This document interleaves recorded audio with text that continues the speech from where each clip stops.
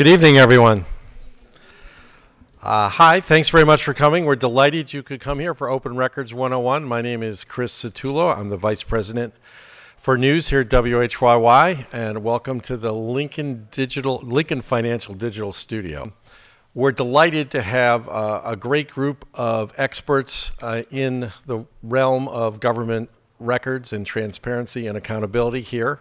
The flow of the evening is first, um, we're going to have a speaker from the Sunlight Foundation, Bill Allison, who I'll introduce a little more thoroughly in a second.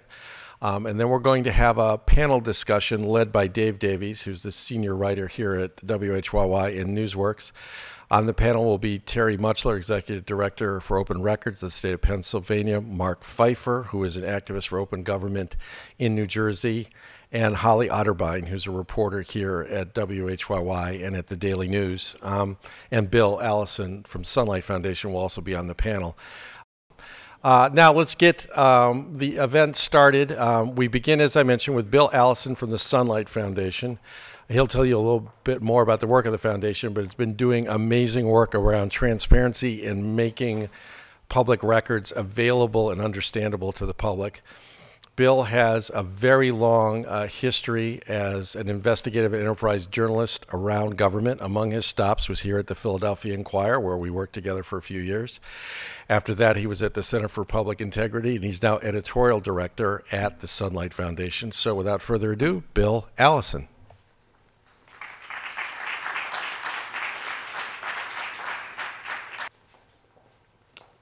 Hi, thank you all uh, for having me here. Um, let me just say about the brief introduction of the Sunlight Foundation. We're about 45 brilliant people and me working in Washington, D.C. Most of the Sunlight people are technologists, developers, um, work, working through Sunlight Labs and uh, some of the sites we do, sunlightfoundation.com is where you can find everything. We have a site called influenceexplorer.com that has federal and state campaign finance data, federal lobbying data, federal contract and grant data, and tries to bring together in one place both the inputs into the political system in terms of influence and the outputs in terms of what groups get out of it.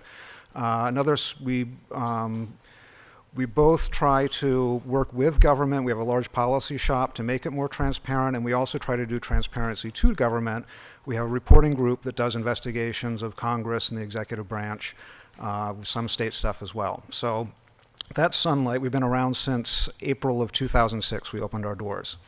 Um, so I wanted to talk about FOIA. Um, in some way, in some way, I've been doing FOIA requests for probably about 20 years um, now, and I wish I could say that I had figured it out. I almost feel like I'm a case study of what not to do sometimes. Uh, and this is one of the reasons why Sunlight's unofficial position on the FOIA law is that we shouldn't have them. We shouldn't need them. The presumption of government should be to release information and release data to the public. I mean, we pay for this stuff. The work product of government affects citizens.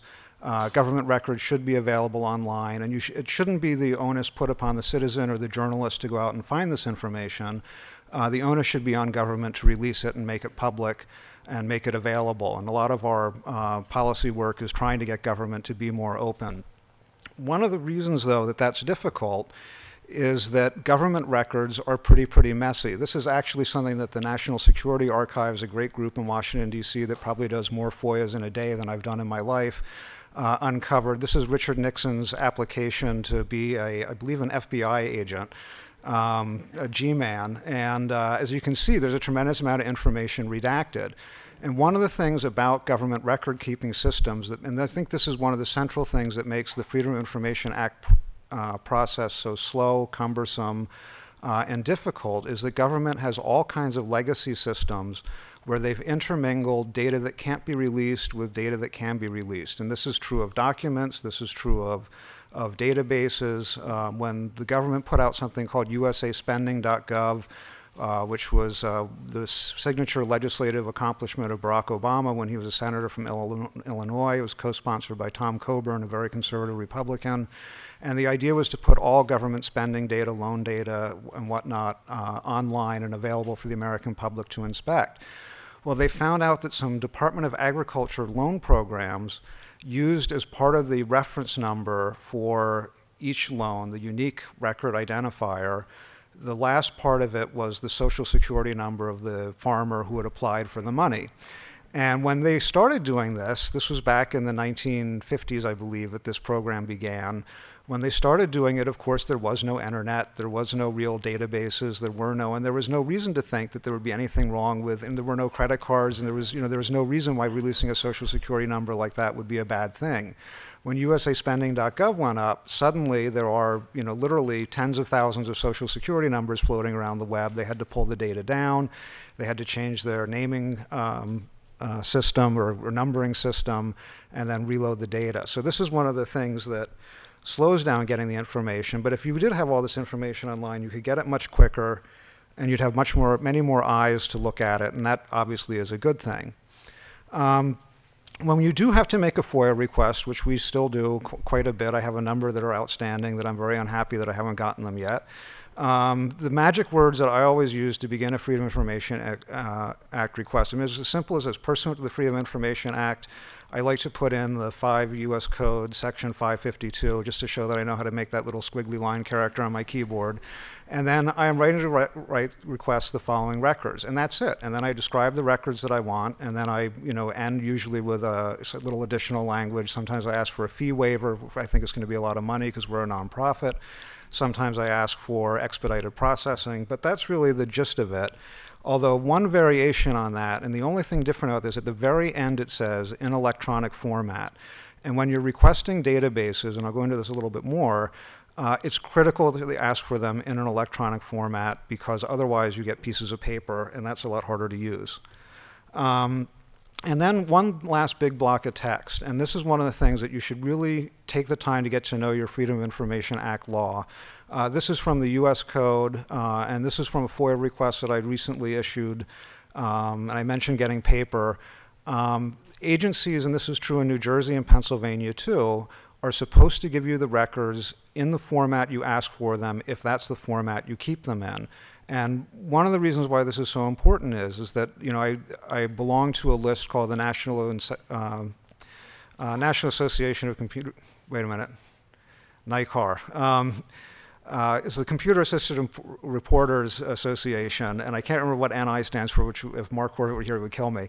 But anyway, NICAR on the list, you will always, you know, every once in a while somebody will send out an email saying that I just got records in PDF format that I know the agency keeps in data format, and now I can't work with them, and I have to convert them from PDF, and I'm furious that they won't give them to me. Well, most state laws and the federal law require them to give you in the format they keep them in, and that can be incredibly valuable. So knowing your FOIA law will really help you out when you do this. Um, this is the form for Pennsylvania, so you don't actually have to do the uh, quoting the code. I mean, it's available in several different formats online. And New Jersey has something very similar. It's kind of specific agency by agency. If you want data on the or information from the Department of Corrections, you go to that site, uh, New Jersey Gov, the OPRA, and choose Department of Corrections, and you get this form, and you can submit your request and get your uh, and get the process started. Now, some of the basics of the FOIA law and some of the problems with it are you have to ask for things that actually exist. You cannot request from, say, the Department of Education I would like a um, book report on Herman Melville at a ninth grade uh, level with enough spelling errors to fool my teacher that she'll think that I actually wrote it. Uh, that won't work. They're not required to create a record for you, but they do have records that they keep, so you have to know that the records actually exist. A second thing is making sure you send it to the right agency or the right place. If you send something to the Secretary of Defense's office and what you really want is information from the Air Force, it's going to be a much slower process. And you may just get back a response saying that we have no responsive records, and then you, you think, oh, well, I'm just not going to get it, and you give up. Um, I've found there's two schools of thought that you don't want to give a lot of specificity in a request. You want to be kind of vague so that they don't you don't tip your hand that you know you know about this great document. Uh, maybe because I'm getting older and I have less time left, but I feel like you know the more specific I can be, uh, that's what I want to do. Although sometimes you do have to go on a fishing expedition. You don't know, you know that they have some records, you don't know what, you can't specify them, you don't have a date, you don't know if it's correspondence, you don't know if it's a report. And so you have to find language to do that. And one of the tricks I always use is I'm asking for records, including but not limited to correspondence, emails, reports, and I have like a list of 72 nouns that goes after that um, that refer to X, Y, or Z. But that's really the catch 22 is that if you don't know something is out there, how do you know to ask for it? uh, you know, these guys obviously sitting in this old picture from the Social Security Administration deal. Um, so, and I'm repeating a few reports here that, you know, the agencies won't make you the special report and have to know something exists. Data is a little bit different because, because things are kept in databases, it's almost like you're asking for a, a specific report. Uh, let's say that you know that your state agency keeps a record of all state-owned vehicles and their mileage and keeps it by department.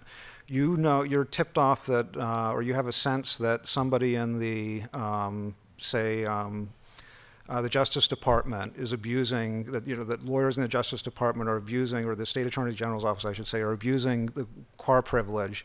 So you can ask for cars with mileage over uh, 1,000 miles a year or 10,000 miles a year, uh, just for the Justice Department and get that sliver of data. And this is one of the reasons why you know electronic records are so much easier to query and so much better to get uh, when you can get them. But you know, obviously, what you don't want to do when you're making a request is ask for photographic evidence of Bigfoot's existence. That gets you back into that trap of of asking for something that doesn't exist, something that the agency doesn't have. But if you're asking for reports, letters, emails, etc., that mention Bigfoot or Sasquatch or whatever, you're more likely to get it. If you're FOIAing the Parks Department, let's say, I'm sure there are campers uh, in the National Park System who have reported seeing Bigfoot. So some tips for finding out what data is available. Um, record retention rules, every state agency has some kind of record retention rule that they keep. Uh, you know, sometimes you have to FOIA it or make an Open Records Act request, but find out how long they keep records, and then you know what records they're keeping. So that's a very useful thing that you do, and ask for this, the agency's record retention rules. Another thing, you know, go on the website and see what forms they collect. For the federal government, there's a website called forms.gov that has all kinds of different forms that the government, they're all approved by the Office of Management and Budget. So you can see all these forms and you know what data each agency is collecting. And so then you can request those records. Um, don't ignore the human element. Talk to people. Um, uh, I'll get into this a little bit later, but we found out uh, when talking to the Defense Department about some earmark work we were doing that they had a database of correspondence with members of Congress. And so as soon as we found out they had that database of correspondence with members of Congress, we FOIA'd it um, because that's what we, you know, we wanted to see. And then the last thing is, you know, a lot of times on agency websites, especially when they're changing from one database to the other, but even if they're not, um, uh, or record keeping systems, they will have PowerPoints, whatever, explaining how to use the system. And that can give you a lot of insight into, you know, these are training materials that they put up. And this will give you a lot of insight into how the agency is keeping the records and what records they're keeping. And that can help you a lot too. Now, a brief interlude. Um, you know, we had the Open Government Initiative, which Sunlight was incredibly happy was it announced, and not so happy that on the follow through. Uh, every agency has its open government plan, and this is something from the Department of Homeland Security's open government plan, which is about a 60 or 70 page document that's online in PDF format. And they say that the, one of the things they're going to do is make a list of all of their data sets. They've already cataloged 900. They're going to catalog the last 300. So in one place, in one document, you'll have a list, and this is collections of documents, this is structured data, this is you know everything that they keep, every record they maintain. If you have this master file, you can find out everything that the Department of Homeland Security, the uh, ICE, all of the sub-agencies keep, the copyright folks, enforcement folks. So this would be fantastic to have as a reporter, but the best thing about it is that it's secret even though it's in their open government plan, they are not going to release this information to the public. Um, we FOIA'd it anyway. We haven't been turned down yet. We haven't been, uh, we haven't obviously been granted it yet. I'm still hopeful that we're going to get it, but um, you know, but this is sort of the problem, and again, illustrates the catch-22. I mentioned something a little bit about data and that uh, Department of Defense database of congressional correspondence, and um, I guess in 2007. I had this crazy idea that one of the things about members of Congress that we don't know and that we don't track, Sunlight began by really focusing on Congress much more than the executive branch. Um, one of the big things members of Congress do is constituent service, but we have no way to measure how effective they are, how often they do it, uh, com to compare offices, to see what patterns there are. Are there some members that write particularly to, say, the, um, you know, the black lung judges? There actually are. Uh, are there some that focus, and obviously they're from coal states? Are there, you know, but we wanted to see what patterns there were, and and were there offices that didn't do any constituent services? uh, or if there were ones that went above and beyond their duties. So we started FOIAing every single federal agency for their correspondence logs with members of Congress. I didn't do this. Actually, uh, uh, Anu Narayanaswamy, who joined us uh, just a few weeks at that point and didn't know enough to tell me when I had a crazy idea, was the one who actually had to FOIA and fight with 100 and some FOIA officers every week to see if we could get this information. But this is what we got from the Department of Defense, and we requested it electronically. What they did, they had this great database. They printed out the pages of the database, they took pictures of it and made TIFF files, and then they sent it to us. And that is actually, well, you can't really see it. It, was about the size when you print it out of a, uh, about a 5 by 8 index card. So when you blew it up to 8.5 by 11, the characters became these hairy letters that uh, were just about impossible to, to read. And you know, so obviously we had hundreds and hundreds of pages of this, absolutely useless to do any kind of data analysis on it. And this is one of the things, again, with FOIA that you have to fight with government agencies. But we weren't going to let this go. We ran these pages through a program called OCRAD, which is kind of a freeware. It runs on Linux. Uh, Scott Wells, who is our office manager, but everybody at Sunlight has amazing talents, was the one who actually did this for us. And you know, we came up. It's it's clear as mud. It's pretty garbled. Um, you know, there's weird things like requests to the QU would would come out as an AU lowercase. Uh, Iraqi came out, the Q and I came out AI lowercase, and there are a whole bunch of other weird things that happen with this. Uh, so then we use a program called Text Wrangler to try to clean this up, and I was very grateful to having been an agate clerk at the Philadelphia Inquirer because there was an awful lot of change commands and an awful lot of fixing things. And eventually we were able to convert it to Excel. It wasn't perfect, but it was pretty close. And then we proofread it and scrubbed it and cleaned it and plugged it into a program that IBM has online called Many Eyes, which lets you visualize things. And we could see that the things that members of Congress were most often writing to the Pentagon about at the height of the Iraq War were congressional travel and travel requests. I mean, this isn't quite scientific, but this allowed us to analyze the data. And then we were able to write a nice little story about it and put it up online and share the data with everybody. Uh, there's a lot of different ways that you can share data uh, like this, and especially if you're a citizen uh, there's a program called ScribD. We actually use it in a site we do called Political Party Time that tracks fundraisers for members of Congress, and we post the invitations online. We put them into ScribD.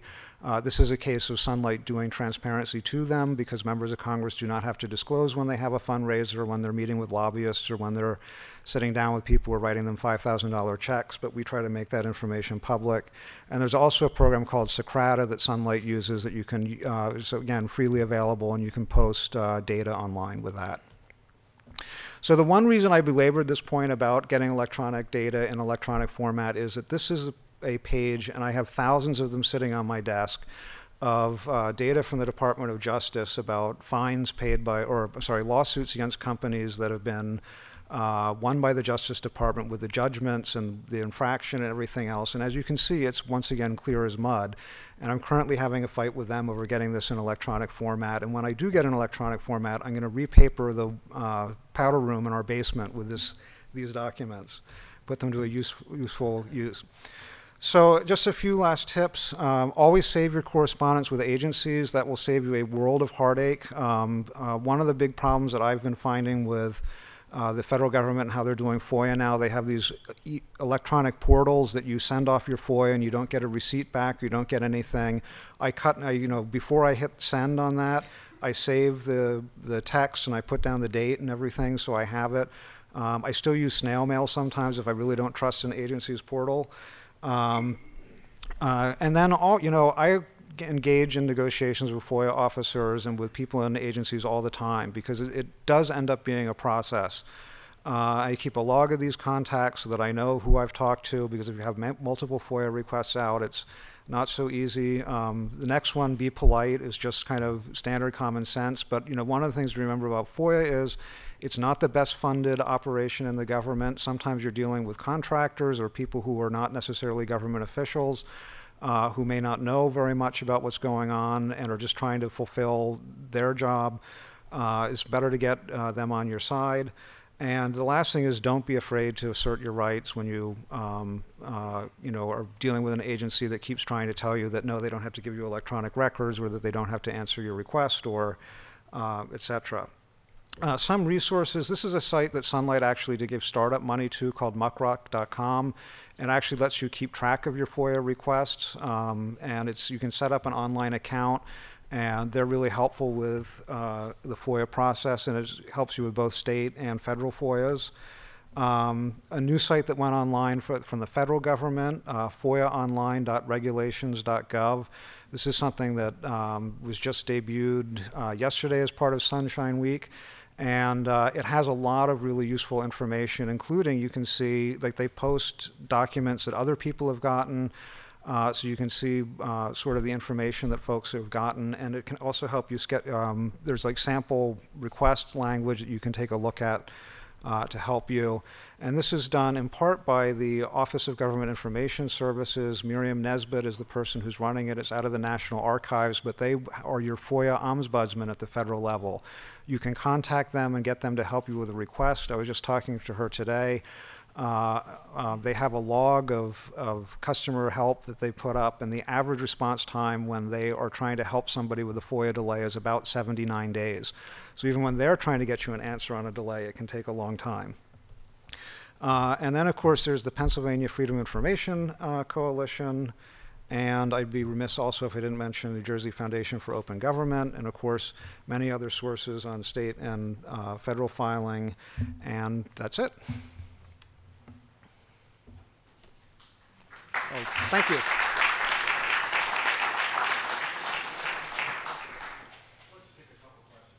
Okay.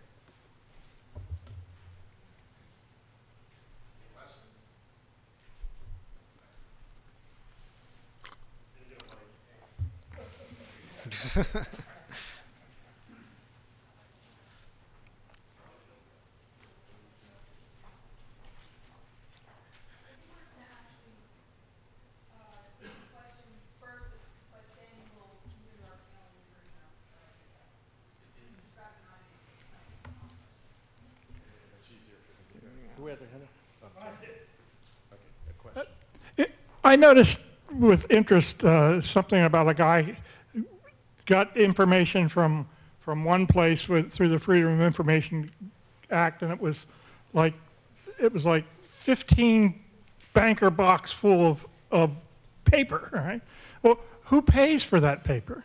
Do they, do, you know, you said that with, it- as a nonprofit, you don't have to pay for it, or do you have to pay Well, it something? depends, uh, and a lot of times they won't give us uh, fee waivers, but um, sometimes agencies do charge you for um, re, um, getting the information. Um, agencies are different. Uh, you know, I get really mad when they say that I have to specify how much I'm willing to pay ahead of time when I don't know how much I'm going to get. Um, but um, but you know, sometimes you do have to pay, and even you know, news organizations occasionally have to pay. And you know, my sense though is is that if the records were kept better and in better shape, you know, particularly with data, but also paper records, uh, you know, because a lot of that is redacting. Uh, there are a bunch of exemptions to FOIA, one of which is a commercial. It's um, um, you know business information, um, proprietary business information that they're not allowed to release, and so there's a review process where they have to involve a company if you're FOIAing information, say from a government contract, that they will have a chance to look at it, and that makes it slower, and so you end up getting charged for a whole bunch of research and other fees. And if you go to uh, there's a site called FBO.gov, which is the federal federal government's basically asking for um, you know contractors to do things. There's a lot. If you put in FOIA, you'll find a lot of contracts it'll say up to like seventy or eighty thousand dollars, and that's usually some big lawsuit where they're going to have to go through thousands and thousands of agency records for you know whether it's EPA regulations or whatever as part of a FOIA suit. And you know, and the, and again, you'll see um, dollar amounts of uh, anywhere from seventy, eighty thousand dollars to a million dollars. That's generally not journalists doing that. I mean, again, that's generally some kind of lawsuit or corporate interest that's pushing for that. So, uh, and a lot of times, you know, the taxpayers do pick up the tab for it. And again, this is one reason why, if government systems were designed better, and that's one of the things that you know a lot of people are working on at the federal level now. Um, it would be much easier to release this information. It wouldn't cost nearly as much, and technology can help a lot with reducing those costs. Hi, thank you very much. Um, I guess if you do a really good open government record request, uh, one indicator that you did a good job is that they'll say no. And so I think that I was going to ask you that do you think really for regular citizens, because this is what we, our parents group has run up with in terms of asking the school district for information, is that they very often say no, they cite legal reasons why, and then it's up to us to go to the Open Records Office on appeal. And on that case, my question to you is we've needed lawyers because we just can't we, we don't understand the law well enough to counter what they're saying, I guess. And so I would ask you if you felt like that was something that people should keep in mind. Um, I mean, it's a problem because you will always run into recalcitrant government officials, and you'll always run into people who will say no. And again, one of the big, um, you know, problems with this is, is that if you don't release something, there's no chance you'll be embarrassed. There's no chance your boss will be screaming and hollering, "Why did you give this out? You're making us look terrible." Um, and you know, and I think that this is a real weakness in the FOIA process. I mean, my my proposal is is that if they deny a FOIA request that should be fulfilled and you had to hire attorneys, they have to pay for it and they have to take it out of the agency's conference budget or the um, you know the entertainment budget for the for the group so that it really you know has an impact. Um, but uh, but barring that, um, you know, and this is a problem with FOIA. There are cases. Uh, when I was at the Center for Public Integrity, we sued for a database that the Justice Department told us would be destroyed if they tried to download the data. And it was a long, drawn out lawsuit. It took several years. We finally got the information, and this is a true story. They gave it to us on a hard drive, which when we plugged it in caught fire. So we had to get it a second time. It was actually a fault with the disk. It wasn't the data that caused that to happen. But, uh, and we sued for attorney's fees for that one because it what did involve a lot of staff time and a lot of, uh, and you know, we did have somebody who was helping us pro bono, but we also had somebody that was, we were paying. And, um, and for the life of me, I had left by that point, so I can't remember if we ever managed to get attorney's fees, but you can, um, you know, it's hard to recover attorney's fees from states, and, you know, but this is, again, this is a problem with the law. I mean, um, does, do you have an ombudsman who can help with that kind of thing?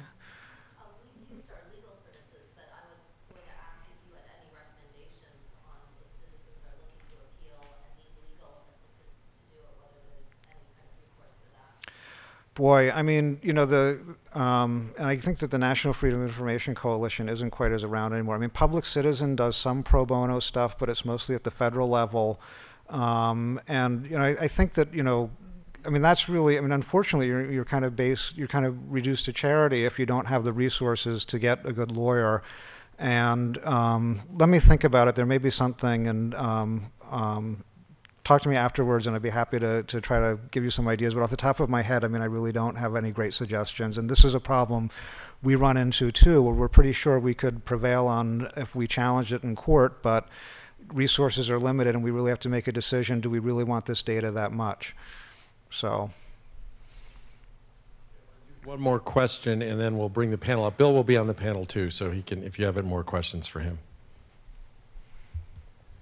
Hello, my name is Michael Burnside, and I don't know exactly how to phrase this correctly. It's a more generalized question instead of a specific one. And it starts with information being power, and obviously people not wanting to spread power around, wanting to keep it for themselves. And it's not only the individuals who use Freedom of Information Act. Obviously, if I was working for a corporation, I could, or a foreign government, I could, or whatever the case is. So, what incentive is there for people not to be rude, but I'm going to pick on you, to pay your salary. You're, you're picking on this group saying, give me power, give me information, and I'm just going to put it on the web and give it to everybody. Are people like you a shrinking breed that's going to die out in 20 years? I mean, is everything going to be restricted at one form or another soon? I mean, at some level, everything's confidential, particularly if you do economics. I mean, you know, I think what, in that context, what kind of worries me most is what's happened to the news industry, because traditionally it was the news industry, uh, which, you know, only a few years ago was much bigger, um, and you have fewer and fewer professional journalists doing this. And I, one of the things that we find is, is that you really do need a set of eyeballs on this data and somebody who's going to take the time, or this information, documents, whatever, take the time to get to understand what it means and also talk to human sources. I mean, you know, the government information is one thing, but you really have to spend some time going through it to figure out what it all means. And I think that that's really the worrying trend. I mean, you know, the nonprofit sector actually has been growing in terms of its um, approaches in this area. You have you know, Sunlight Foundation, Center for Public Integrity, Center for Investigative Reporting out in California. Um, there's a whole bunch of localized nonprofit news organizations. Um, certainly, you have um, you know uh, PBS and National Public Radio that have been around for years. So there has been public support for this kind of work. Um, there's also like a growing developer community. And one of Sunlight's most interesting state uh, sites is something called OpenStates.org, which was a group of basically volunteer developers and a few Sunlight staffers who have learned how to scrape every all 50 state legislative resource sites and make them much more searchable, user friendly, and easy for people to get. And that was largely done by volunteers. So, in the developer communities, there's, there's a huge amount of interest in making government information more accessible. I think what we're lacking is the, the sort of the, the journalistic end to take that information and get useful, you know, to boil it down and get it to a point where you know, my mom can take a look at it and understand what it means. I mean, she's not going to spend a lot of time on a site like opensecrets.org, which has great campaign finance data, but she will read a story in her local newspaper that says that her member of Congress is doing X, Y, and Z, and uh, and that's you know that's good or bad.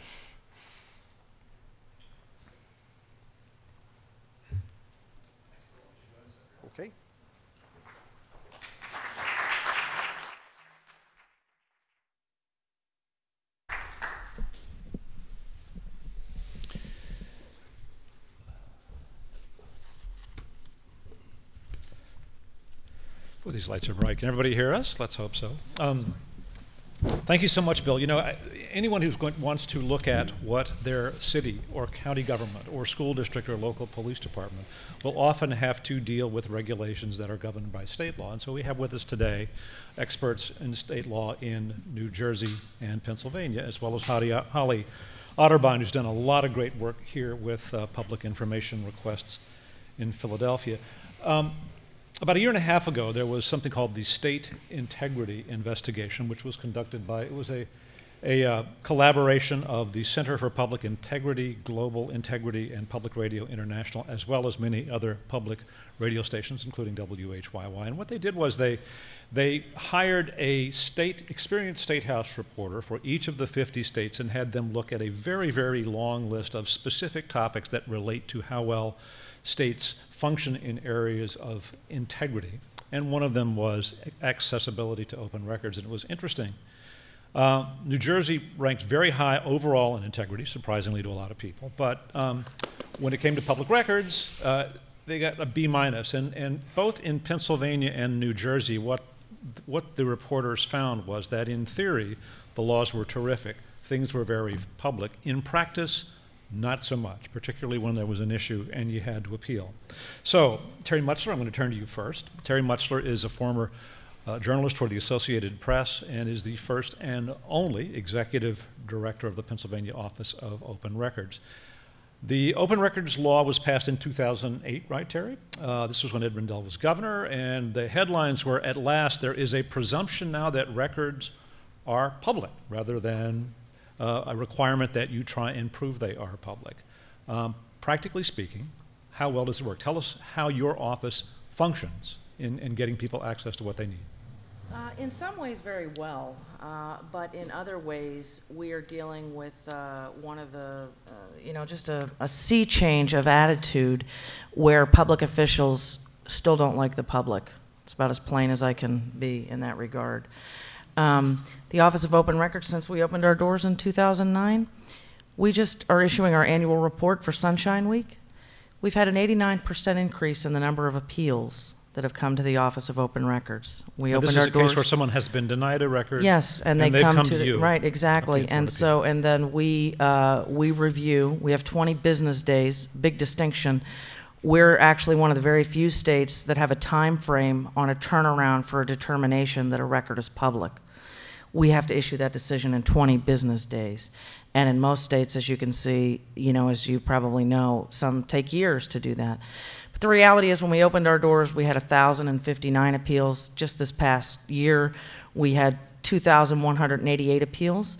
That does not count the 200 cases that we handle in the Supreme Court, Commonwealth Court, Court of Common Pleas, the 20,000 inquiries to our office, the mediations and hearings, and we do it with six lawyers and one chief counsel. Um, it's, it's, we still see, uh, the plainest way I can say what we see is we see an extreme. There are members of the public and members of the media who are convinced that every public official is a criminal. But on the flip side of that extreme, you have public officials that don't like the public. One of the most stunning things that I've seen, I just saw in the last week, and we'll move forward with this the, to the person that asked about lawyers and needing lawyers. Um, reporter in Reading files a right to know request seeking records from the city. He is denied and he appeals to the Office of Open Records in one of the most stunning uh, attempts to block an appeal. The city of Reading filed a letter with our office asking us to dismiss the appeal as they felt that this reporter was engaged in the unauthorized practice of law. Wow. And so, um, with that, I'll, I'll pass the mic and To- uh, but let you a know. couple of more uh, things on you what you're up to. To- But just to come back to basics, in a case where someone in Pennsylvania seeks a record, Yeah. they are denied the Yeah. record, they can appeal to you, and then you have the ability to tell that agency, that Yeah. county government, that city government, What- you have to give them the record. If they want to then refuse, it goes to court. Right. And, and really, believe it or not, Pennsylvania's laws, uh, you know, there is some components that I think weaken it, but in reality, there's a great one-two punch. You now have the presumption that the record is open, and you have the Office of Open Records that can issue binding decisions. So the basic way it works, you file a request for a record. You have a uh, they have five days to um, to respond to you. They can either grant the record, deny the record, or extend it for 30 days, which is usually the default position. At the end of the 30 days, they either give you the record, deny you the record. If they deny, they tell you you have a right to appeal and you come to us. And then we issue that decision and it's binding uh, on, uh, it's binding on the agency. And then, of course, they do have the option of going to court. Um, and we see uh, of the probably 200 cases out of 6,000 that have gone to court, courts have upheld us in, in about 70% of the cases uh, that we, you know, some are dismissed, some, some they just overturn us outright. Um, and uh, we see a lot. The last piece is, uh, and again, it ties to this person's question. Unfortunately, in the past, when someone would appeal to us, if they just wrote appeal, we let them in the door. Court said, can't do that. If an agency denies you for five reasons and the citizen cites four, you don't get in the door. So you set up a situation where you have a citizen against a chief counsel. So we, you know, or, or a, you know, uh, where you almost do need a lawyer in some ways. Um, we're pushing very hard. There's a lot of progress, but at the end of the day, um, the, the deck is stacked against the citizen. One more specific question before we move on. We heard Bill Allison say how important it is to be able to get records in electronic form if they exist. Does Pennsylvania law require an agency to provide it in that form if they have it? In the format that it exists, yes, and they're not required to create it, but they are required to pr- to produce it in the format in which it exists. Now, we did have a case early where uh, the Office of Open Records uh, issued a decision, sort of telling on myself here, and we said it was okay for the agency to release it in PDF format, and and uh, don't attack me. This has but, been um, brought up, Yeah, it's a big yes. issue. And uh, anyway, we were overturned on that component, uh, and and the you know the, the the issues behind it were, you know, we saw examples of of folks that were not journalists but citizens who were manipulating information and you know for for uh, and releasing inaccurate information. And uh, it was one of our earliest uh, decisions on the PDF versus electronic format. Long and short is, the the the law says that the citizen is able to obtain the information in the format that the agency maintains it. So the agency doesn't make that call, the citizen makes that call. Okay. Marc Pfeiffer, at your far right here, has had a long career in New Jersey government. He spent 25 years in the New Jersey Division of Local Government Services, and he was there when the New Jersey uh, um, Government Records Council, the appeals body for open records in Pencil in New Jersey, was created, I think, in 2002. Two, right. Okay. I was involved in the, the whole startup and legislation that was passed. The OPRA legislation passed at the end of the 2001 le- legislative session, and I was tapped at, from my regular job to help to get the whole Government Records Council up and running and ran it for about a, about All right, so, so you've seen this from the inside and from the outside. How well does it function? How open are records in New Jersey? I, I think if you, you started, you were looking where we were back in 2002 and where we are today, uh, everybody get, most people get it. Government, government officials get it, government employees get it, that government records are out there. There is a list of New Jersey records that are exempt from, from disclosure. By default, everything is open unless there is an, an, an exception for it.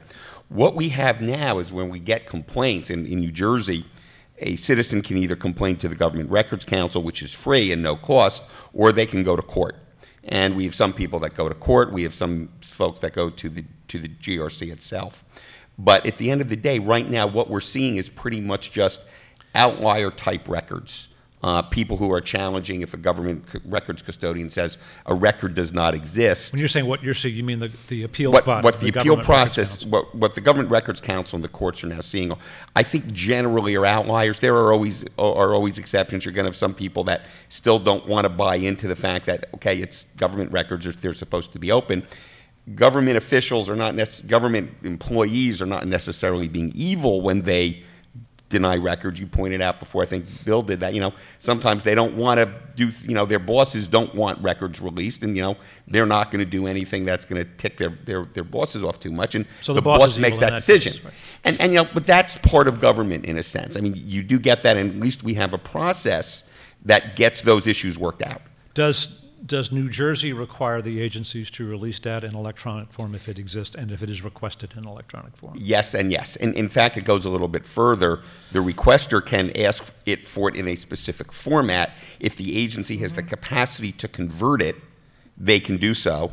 And they can also say, okay, if we don't have the capacity, we can do it, but it will cost us X to do it, and we'll pass that cost along to you. And if you want to pay for it, we'll get it done that way. Now, I have to say, there was a remarkable couple of stories done a few months back by Matt Katz of the Philadelphia Inquirer about the New Jersey Government Records Council, in which he discovered that astonishingly, the, the, the council would meet and everyone in the room, other than the members themselves, that is to say, the members of the public in, in attendance as well as parties to the record in dispute, would not know, even after the meeting, what the decision had been. A silent vote would be taken. he also noted that all of the members were appointed by Governor Christie, and that in cases where there was a challenge to a Christie administration agency refusing the record, the record was 44 and 0 in favor of those agencies. Is that a, is that a council that's really working? I think so. It's yeah. I, I'm going to say yes. It, it, it does work.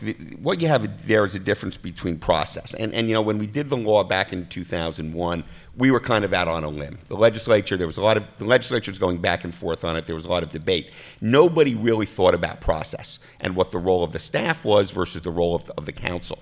And the determination was only the council could make a decision. The staff was not making decisions. They were just making recommendations to the council itself, and the council would decide.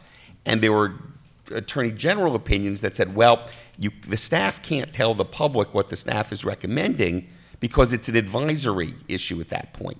The council has to make that decision But first. at the meeting, surely they can say what they're doing. In theory, yes. And I, you know, I can't speak for what was happening at that point, but it's clear, and, and I think Matt's article caught the attention of state legislators because now we do have amendments being considered by the state senate. It's up for vote in the state senate, I think, in sometime in the next couple of weeks of amendments to the Open Public Records Act that put some specific requirements on how the, the GRC will have to operate. I'll, I'll just say I spoke to Matt a couple of days ago because I, I knew we were gonna, this was going to come up, and he said that anybody who's serious about an appeal in New Jersey just simply skips the Government Records Council and goes to court because they, it's just not going to it's not going to give you any real Uh, serious you, you can consideration. you, you can go you can reach that conclusion however for a citizen that you know that's got an outlier type question. Because remember what you're getting now after 10 years in, into the law government custodians have been trained. They understand what the law is. They've been banged around enough. So they're generally producing the information. So what you have are outlier issues. Outliers are tough. They require a lot of investigation. The council had one case where uh, the the information was theoretically was argued to be by the agency what we call advisory, consultative, or or, or, or deliberative, which means it's not it's it's it's not disclosed. The council and the council staff had to go in to review some 2,000 records and make a determination on each one whether they were were disclosable enough. That takes time.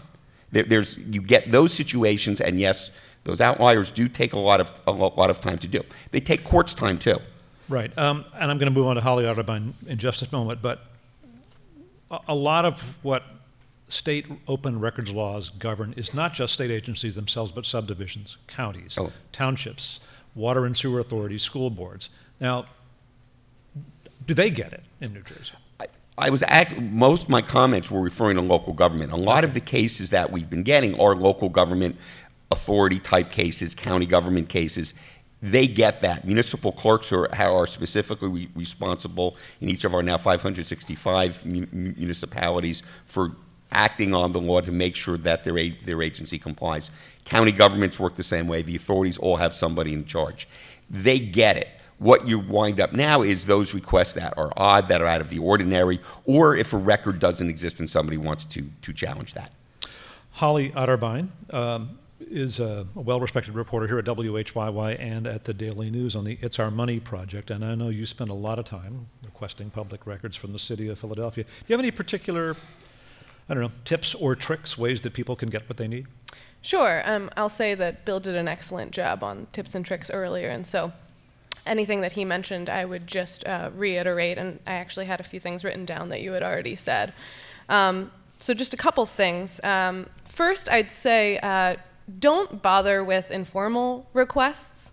Um, and if you do decide to, um, make them brief. Uh, I recently made a request with a city office informally um, with a with a source who I trust, and I was told that you know I should request it informally. That that would probably um, be the most successful way to do it. That uh, if the law department got to it, that it would you know have to work through this very lengthy process, and so I decided to do that, and um, it ended up taking uh, well it first it was delayed informally for a month. And i you know i just kept being told uh, we need another week we need another week. Um, and then eventually after a month i decided to make a formal request for it. Um, i was told you know first they get five days um, to respond to it. After that they asked for an additional 30 days and then they asked for um, two more requests after that passed and so uh, I, I just got it a few days ago and, and by that point, three months had passed. Um, so I'd say that if you want to try to make an informal request for the purpose of sort of maintaining sources and because you think it might be faster, do it a week at most. Um, and then secondly, I'd say uh, get to know if you are requesting records in Philadelphia specifically, and that's really all I can speak to because I cover city government here. Um, get to know Mark Headd. He might be in the room right now, perhaps. Yep, there. He's the bald guy in the back there. Um, he's the city's first uh, chief data officer, that's his title, and uh, only one. And he's just a great person to get to know um, if you've got questions about how data is structured or um, how to read certain data. I, I think he's a good advocate for citizens, and I know that he's also pushing behind the scenes to release data sets. And so if you feel strongly about a particular data set that maybe you're requesting with some frequency, I know um, one example for myself is I, I request uh, the Revenue Department's records on delinquent uh, property uh, owners on a pretty frequent basis and um, comb through them, you know, to look for government officials and uh, business owners and things like that. And so I've been, you know, pushing um, for that to be a regular uh, data release by the city because I know that a lot of other people are making it, and I think that um, that a lot of folks in government are interested in releasing those data sets too because it's um, you know it's it's beneficial for them because it takes a lot of work to uh, you know keep releasing these things over and over again. So there is an incentive there, and I know that the city has released a lot of data sets for that reason. Uh, they've you know released huge data sets from the licenses and inspections, um, police, and things like that. Uh, overall, uh, your honest opinion, how, how, how, what kind of a grade do you give the Nutter administration on openness? Um, I maybe a B minus uh, if, if I'm going to give it a specific Okay, grade. well, we just heard they're releasing lots of data. Where do, where do the, where do the, de- the demerits come from? Well, first I'll say the good things. Um, I really do give the Nutter administration high marks for releasing these huge data sets recently. Um, I mentioned the L&I stuff. I mean, it's just a ridiculous amount of records on, you know, everything from demolitions to, you know, uh, permits and licenses.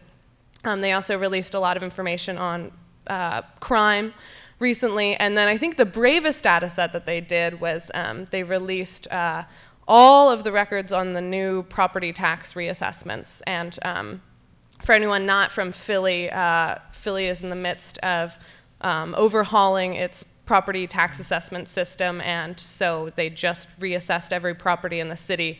And the city literally just released the whole data set online for anyone to get journalists, you know, everyday citizens, politicians who don't like, you know, the overhaul. Um, and I think that that, you know, I really give them high marks for doing that. Um, I, I think that the administration sometimes appears, or I worry that they um, either delay requests or deny them in, in not in good faith. Um, for instance, uh, I don't want to get into too much detail, but I, I made a request. Um, well, actually, it was the one that I mentioned earlier that took three months. Um, and that was, it's a somewhat sensitive request uh, because of the property tax overhaul that I mentioned. I'll just say it has to do with that. Um, and you know, I do worry that that was delayed um, because perhaps they didn't want it to be released in you know the same time period that all of these new assessments were coming out. Um, and another just specific um, example, um, the Inquirer a few years ago made a request for Mayor Nutter's daily schedule. Um, and the Office of Open Records, I believe, said that it was a public record, right, Terry? Yep. And um, and the administration has really fought it just really hard. And, um, and the courts, I, I think, have agreed with them um, for the most part. And the administration has said that they don't want to release it because of a public safety concern, that they think that, um, uh, I guess, somebody might be able to track, um, you know, where the mayor goes, and that that poses a concern. And I, I just have to say, I think that's ridiculous. Uh, the mayor, uh, the mayor's press office releases um, uh, you know, a schedule every single day to say where he is. Um, and not to mention, you know, there are many public officials out there in other um, states and at the federal level that have just voluntarily released their daily schedules. Right. Well, they release the public schedule. It's the private schedule that's that's really the argument here. Yeah. I mean, I will also note that, that the city of Philadelphia. It's been my experience that, as you said, there's no point in making an informal request because they will re- they will take the full amount of time that the law allows to respond to a written request, and they also require that the request be on a specific form, which is, I believe, Terry, it's the state right to know form. If you simply cite the law and send them an email, that will not entitle you to uh, the remedies under the law. So with the city, you better make the request in writing, you better make it with the right form, and you can expect them to take the full 35 days. Right, and the first time that they started um, that requirement, because it wasn't always like that, um, they waited the five days, you know, to respond to me and then said, this is denied because it's not in the right form.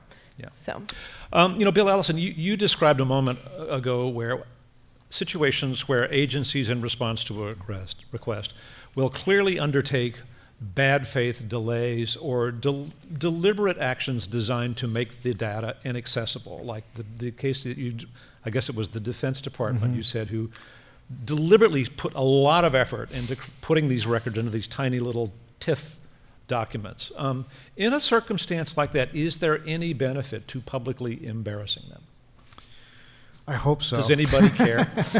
I hope I hope they cared. Um, I, you know, obviously publicizing it. I mean, I think it is good to point out when uh, an agency. I mean, you know, the problem with the Department of Defense is that there is so many other issues with them in terms of releasing information that this probably didn't cause anybody to lose any sleep.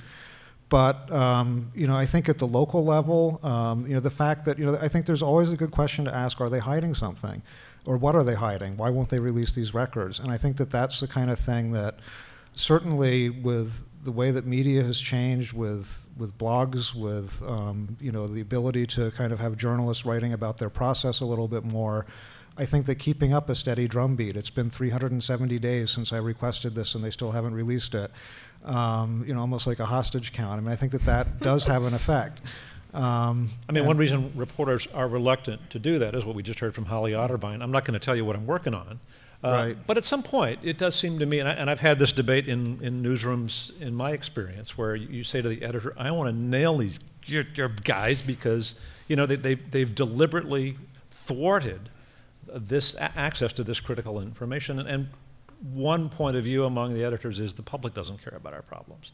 Um, it's an, I yeah. and I think that that's where, though, some of the reporting comes in. Because if you know that these records exist and you have a pretty good idea of what's in them, then you can describe them. Uh, if you have a source who's told you about them, if you've done some background reporting, if you understand what the uh, what the value of them would be to the public and why are they withholding this. And again, I mean, this happens a lot when um, you're getting closer to an election time and there's some kind of ethics investigation going on and they're delaying the release of the uh, ethics investigation.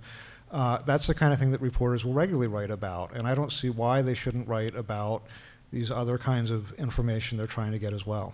Terry Mutchler, how's uh, Tom Cor- Corbett on openness, disclosure, transparency? Um, well, I will tell you, initially, uh, terrible. That's probably the best way to put it. Um, you know, you have, uh, you take a look at some of the cases. I, I, uh, you know, I guess I have to say in advance, I'm sort of past the point of politeness with this stuff. But, um, you know, we had a, someone request a copy of the state constitution, and it was denied as not a public record. Okay? So let's start there. Um, it is improving, but uh, but actually, let me say a few things more about that. Some wacky subversive So- just had to have the state But it gets, uh, you know, it gets complicated because, um, and I, I just want to make one note. I would not give an agency uh, a week to do an informal uh, review. I'd give them two days because it, it, it, it's either going to happen or it's not. And you know, you're already looking at 35 days unless you've dealt with the source for, you know, a long period of time. Uh, initially, when the Corbett administration uh, took office, I decided that uh, I had I was appointed by Governor Rendell, and uh, but the truth was, while he was very pro-open government, I couldn't buy a vowel from the Democrats, and so I thought when the new administration came in, I thought, wow, I'm going to send handwritten letters and ask them to meet with me so that we can start off on a new path. And uh, a lot of them canceled all on the same day. When I finally brokered a meeting with the administration, they said, well, Terry, we, we did get your letters, and we interpreted that as a spider inviting us into her web. It's the only time in public service I almost cried. I, uh, but anyway, uh, but then, then after a series of being called a monster and a spider, as we talked about a little bit earlier, um, I went for broke and I reached out to one person that I knew was a former reporter, and I thought, you know, maybe we could make some headway here, you know, share a beer, you know, and uh, and I did make headway. And then um, and then I built on that by dealing with someone who I find to be an extremely reasonable person. There, um, uh, a woman named uh, Delene Lance Johnson, who's now sort of the head of the Right to Know um, requests. And I can actually say between her and a few other people there, we've actually started some momentum and um, and really uh, opened a line of communication that helps. But it's hard. It, first of all, it's difficult uh, because I'm in, a in the fifth year of a six year term.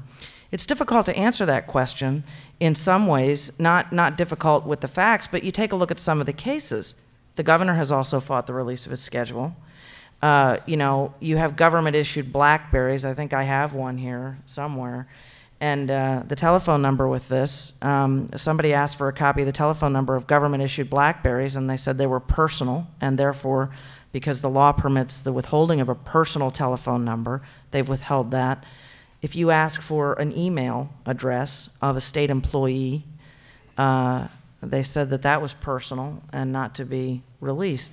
On the other hand, the governor's office is right in saying that in some ways they've released more government records than any other administration, and that's pri- primarily due to the change in the law. And so I, it's, it started off extremely terrible and difficult. I think that we have, you know, we sort of all fell through the ice and now we're sort of swimming for shore, but I think that we have made great strides and I have high hopes that we will continue to be able to work with them to, uh, uh, to have uh, a, you know, more access out there.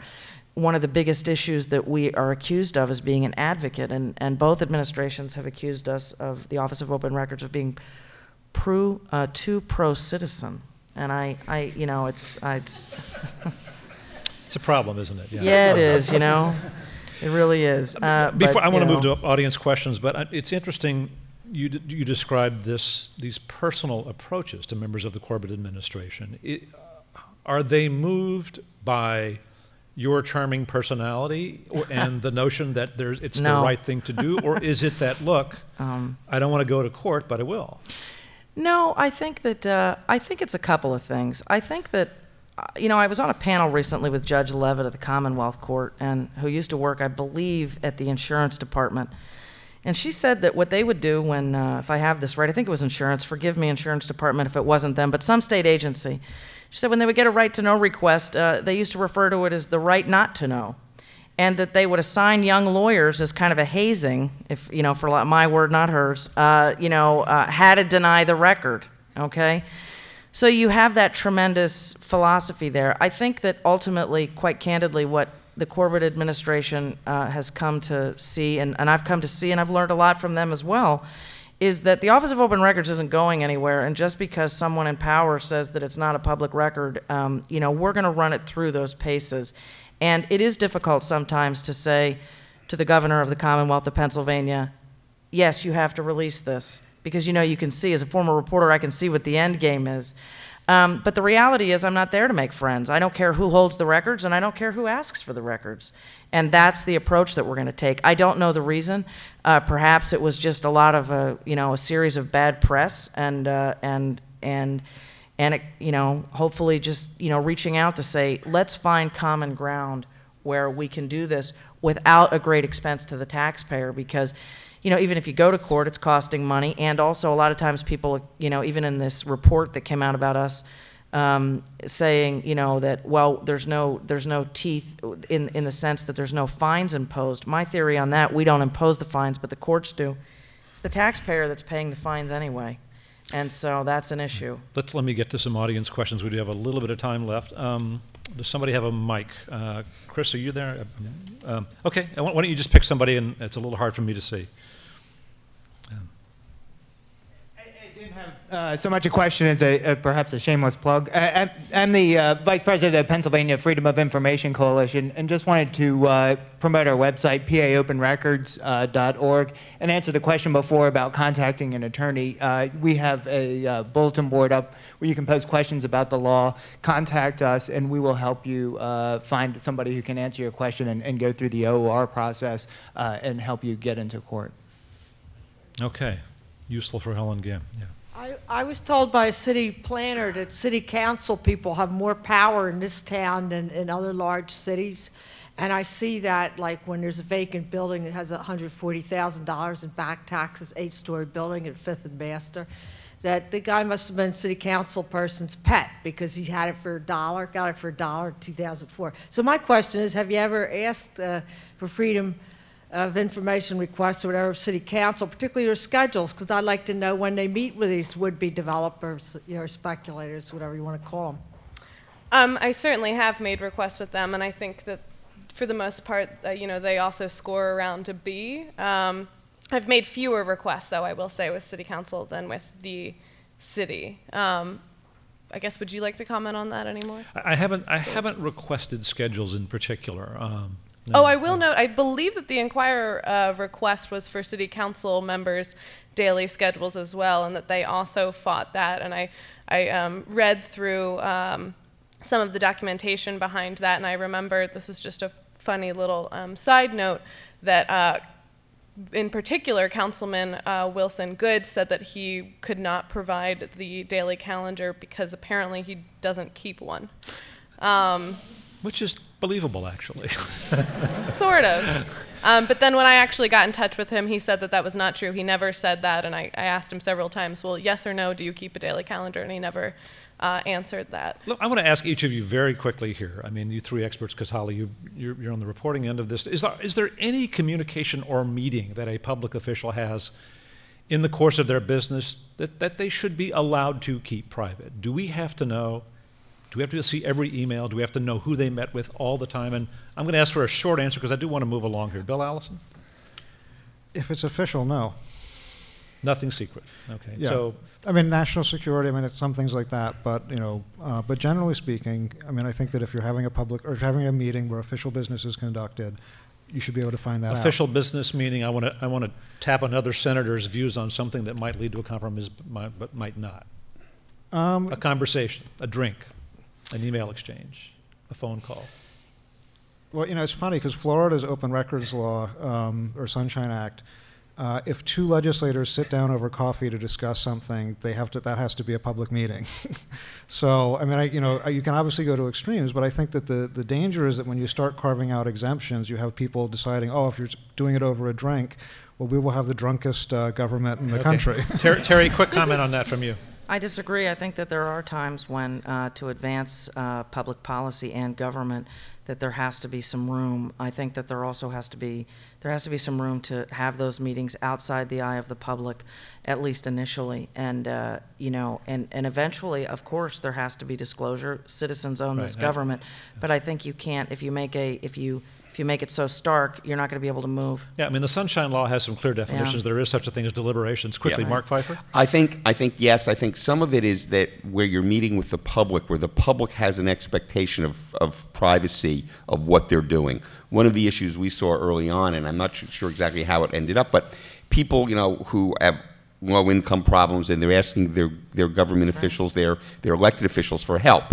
In New Jersey, you know, for better or for worse, the legislature has exempted them from, from the law, but not local council people. And there's a lot of the same issues there. And, you know, it, it's constant, we've got a balance to make. Mm-hmm. We, we, you know, open records 15 or 20 years ago was not, at the local level particularly, was not this huge issue because, one, people had a lot more confidence in their government. This part of this discussion is because we've lost, people feel they've lost control of their government. And what are our models for oversight? Our oversight models haven't worked well, and this is a new model for oversight. And, you know, democracy is going to be messy. It's never going to be a perfect thing. And as, long as we have mechanisms that work our way through this, that's a good thing. Let me go to another question. Yeah, Chris, you want to?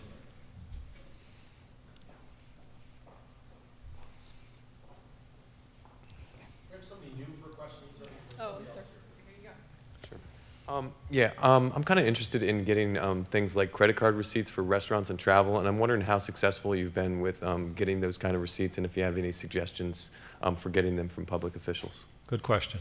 I have not made that request. I- I'm sure Terry's seen many of them. We though. see many of those. As a matter of fact, uh, one, uh, a city that was a distressed city financially, somebody filed a request and they discovered, uh, they were able to obtain the credit card uh, bills to show how much they were spending in places like New Orleans and Orlando and uh, Sacramento and, and on, and on, on trips. Uh, Credit card receipts of a public official are public record. You should be able to obtain them. Uh, There could be, you know, the only place where you might see some haze on that is if a police officer, a detective or something has one, um, and it's involving, you know, a confidential source, an informant, you know, perhaps, maybe. But as a general rule, you're going to get those financial records, and we've ordered those released, and they have been released in Benson. So the lieutenant governor going to an outing, every meal, every golf, that, that's on the If it's on on a state card? credit card, you're going to, you're going to Okay. get most of Okay. it. You- Well, you should be able to get most of it. Yeah, I, I will just say, when I recently made a request of the mayor's travel vouchers, cards, et cetera, uh, I, I did not get that. I got a, a deliberately assembled uh, summary, um, which, which really left out a lot of the Yeah, I, I can point out in Jersey, we don't have that problem at local level because we don't allow our, anybody to have credit cards. There you go. Okay, another question. Uh, Over here, yes. Uh, Good evening. My question to the gentleman from New Jersey. Uh, in in um, in the last in, in the last governor uh, election, the governor of New Jersey he he actually uh, asked the asked, asked the elector to borrow 500 uh, million dollar, uh, half a billion dollar, in order to borrow to to protect. Uh, to protect uh, some land in New Jersey. Actually, the, the, I, I, did try to get uh, to, to understand the details of that transaction because, because it, it, it sound, it, it, the idea of borrowing money to protect uh, public land is kind of, is kind of counter, uh, counterproductive. In order to borrow money, you got to have a collateral for this borrowing money, not to mention uh, Anyway, uh, I was wondering if uh, public record for land ownership, especially uh, such transaction that has been taking place by the governor of New Jersey, the recent one, is uh, accessible? Okay, let's, ju- uh, this is a very particular question about a circumstance. If, uh, Marc, if you're familiar with it. I, am not. I'm not then- sure I am, but I, I can say, you know, any land transactions are all public. I mean, they're going to be record. You know, any land transaction is going to be recorded with the with the county clerk, and those are public records. They're out there. So I'm not sure of the specific circumstance Maybe you that guys you're could talk a talking little more about. yeah. about the particulars of that circumstance. Sorry, we don't know more about that particular case. Um, Yes, yes, please. I wonder if you can sort of like share with us in terms of outcomes of all these, you know, requests for information on the sense that from your own experience, what has been one request that really made a significant difference? And in the sunlight, you know, uh, or sunshine has been around since 2002. I'm just wondering if you can reflect if you've seen changes in, you know, government official behavior or anything else, and how do we measure the efficacy of that other than just the idea that government belongs to the people and therefore we should have all this information? Good question. What are we getting for all this? Bill? Well, I mean, I think that, you know, definitely you can see a value from releasing more government information. I mean, you know, on the, on the FOIA front, um, you know, there's a project right now at the Center for Public Integrity where they got Centers for Medicare and Medicaid Services data, and they, which they, again, they got through a Freedom of Information Act request. They've been able to analyze that data. They've been able to identify patterns of fraud and uh, money misspent and really do a tremendous amount of analysis and also just actually find out with these two hugely expensive federal programs how they're spending the money, where it's going. And that's something that I don't think that average citizens, you know, have any way to grasp until uh, Center for Public Integrity did this work. The Wall Street Journal did some similar work. So kind of understanding what's going on in the federal government, I think, is like a hugely valuable thing.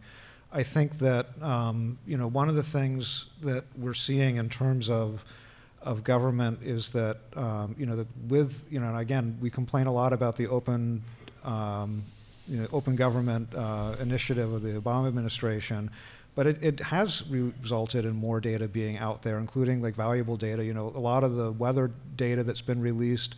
Uh, you know, for uh, sites like weather.com that make it much more valuable and accessible to the public. Um, so you know that's one one spinoff, so um, which is very important. And and finally, you know, as uh, you know, going forward, you know, we have this huge health care bill, we have the Dodd Frank. I think there's been more openness and transparency around those two um, uh, those two bills, at least as far as implementation, especially with Dodd Frank, with them posting, you know, who they're meeting with, uh, when they're meeting with bankers, when they're meeting with, um, you know, insurance and investment brokerage officials. So you can kind of see the record of those meetings. Um, I mean, I think that, that those are all huge steps forward. I mean, what we'd like to see is more of that codified into the law, and again, that becoming the presumption. But I was talking to Miriam Nisbet, who runs OGIS the other day. Uh, it's the, the ombudsman for FOIA. And she says that one of the things that her office is doing is working with government agencies going forward is that when they design systems for keeping records, make the presumption that you're going to have to release this information when you design these systems so it's easy to do and you don't have those you know, $1,000 FOIA fees or $10,000 FOIA fees that because, you know, the documents are so uh, in such a state or the data is in such a state that you have to go through every single record before you can release it. Yeah, and I'll just say, no, nobody knows what mischief might occur if pu- public officials did, didn't think somebody was watching, but my gut tells me that it matters. Yeah. Uh, There's a lot of success stories in yeah. that, in that No, no, regard. no, I there- mean, there are you know, uh, even in Pennsylvania, I mean, some of the right to know law requests have revealed um, an agency that had in-house lawyers spending hundreds of thousands of dollars on outside counsel. Uh, uh, you know, an agency. You know, we've we've seen uh, we've seen we've learned from a right to know request. Citizens, uh, you know, a little league coach who was stealing from a fund, uh, legal bills. Um, you know, you see a lot of success stories. In uh, there was a city that was given a million dollar donation, an anonymous million dollar donation that came out through a right to know law request, uh, and yet the city was uh, talking about how broke it was to, to, for this particular expenditure. And we've seen situations where people have been retained, a right to know law request revealed people retained on a payroll after they've been fired for several months. I mean, there's a lot of success a, a lot of stories this. specific kind of Yeah. uh, mischief has been uncovered. Let's let's get to one more question. as We're running late, and um, yes.